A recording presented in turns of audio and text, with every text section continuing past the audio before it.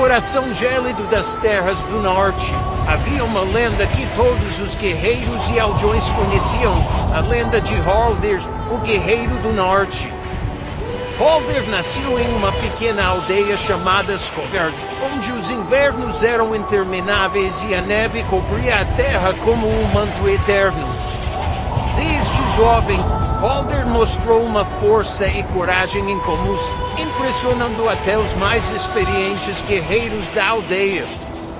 Quando completou 18 anos, Halder foi chamado para a tradicional Prova do Norte, um rito de passagem que consistia em uma jornada solitária pelas montanhas de gelo.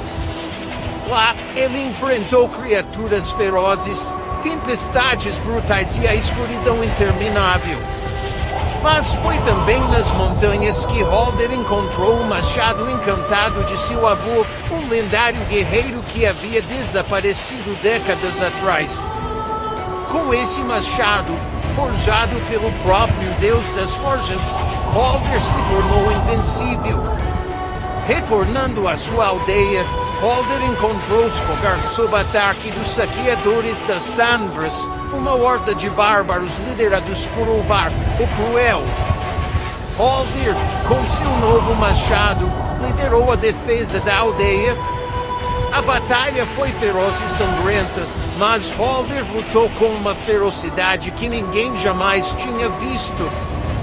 Com um golpe final, ele derrotou Uvar, trazendo paz temporária para Skogard. Apesar da vitória, Holder sabia que a paz seria breve. As lendas falavam de um mal maior, uma criatura das trevas conhecida como Droger, que despertaria das profundezas geladas para devastar o norte.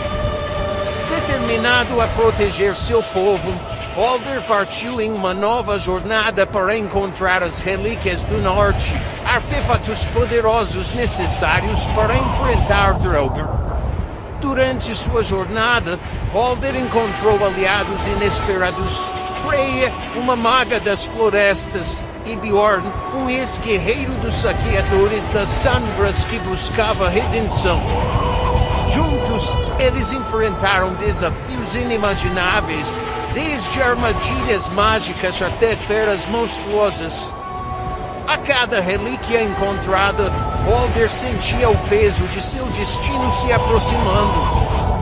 Finalmente, armado com as relíquias do norte, Holder retornou a Skogard apenas para encontrar sua aldeia em ruínas e seu povo escravizado por Droger.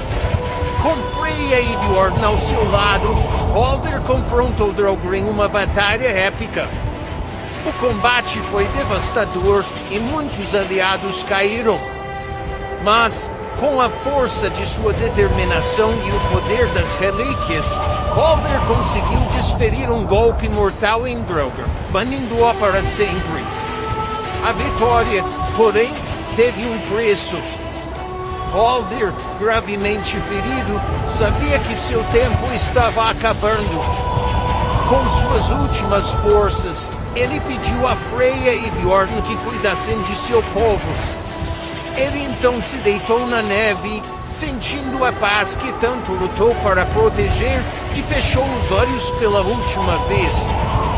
Holder foi enterrado como um herói e sua lenda se espalhou por todo o norte. Skogard foi reconstruída e o machado de Holder foi colocado no centro da aldeia como um símbolo de coragem e sacrifício.